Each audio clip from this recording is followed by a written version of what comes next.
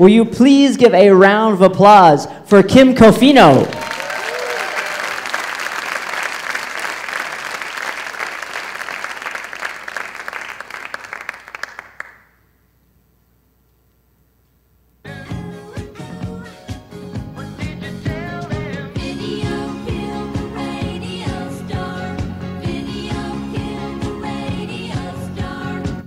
So, how many of you guys know these social networks?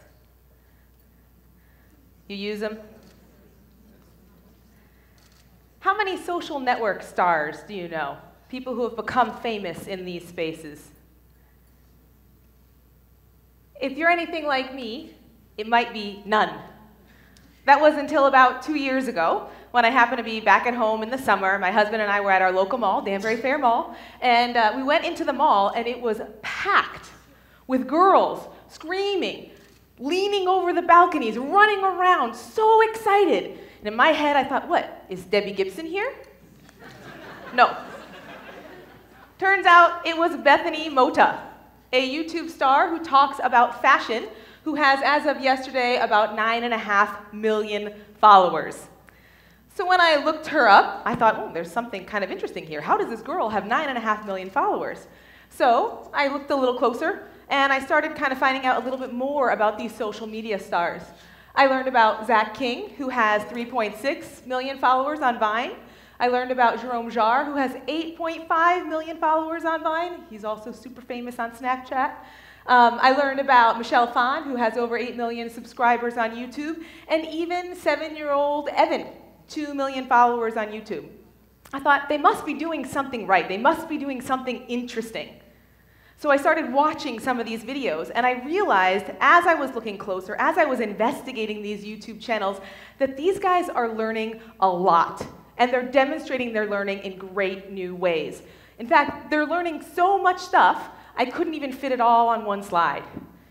And when I started thinking about these things that they're learning, these key words about empathy and relating to your audience and being confident and charismatic and being tenacious and persistent, I realized that a lot of those skills actually match up perfectly with the research from the Institute for the Future about our future work skills needed for 2020.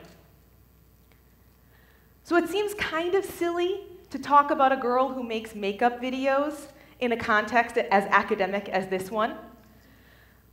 But it's not about the content. It's about the community that they're building.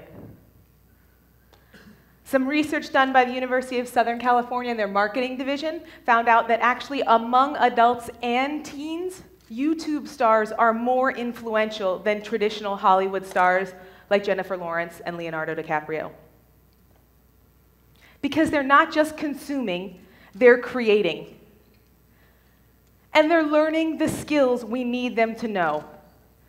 They're doing it in the spaces they want to be. And they actually already have all the tools, our kids already have all the tools they need to be successful in this environment. All they need is an internet connection and a laptop. What we need to do is empower them and value these spaces to allow them to demonstrate their learning in the spaces they want to be so that they can build their audience. But intentionally or unintentionally, we're building a wall between their world and ours. And it's our job to guide them as educators to find issues that matter, meaningful and important issues to become passionate about, to share with others. I think we need to kind of blend together and remix their passions and our passions so our students can find their audience. I've got one more story. This is uh, Zach King, the Vine star that I mentioned before. I'm going to show you a quick Vine of Zach's. Oh, this is our stop, dude. Dude.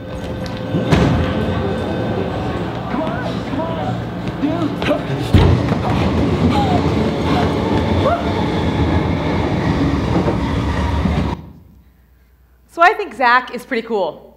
I think he's pretty cool because his friends were telling him about Vine. Come on, Zach, you got to get on Vine. You got to get on Vine. He said, I don't know what Vine is. I don't care. And then one day he woke up and said to himself, I'm to figure this out. I'm going to make one Vine every day until I figure out this media. And so he did. And he's pretty good, right? So, how many of your kids wake up every morning and say, I'm going to figure out, do this problem every day, I'm going to tackle it every day until I figure it out? And even if they do think that, what do they get from you? A tick? But Zach has an audience of 3.5 million followers who interact with him every single day. So I think we need to start valuing these spaces, rethinking our perception of social media so we can empower our students to build communities around ideas that matter to make a difference in our world today. Thank you. Cool. Like to introduce?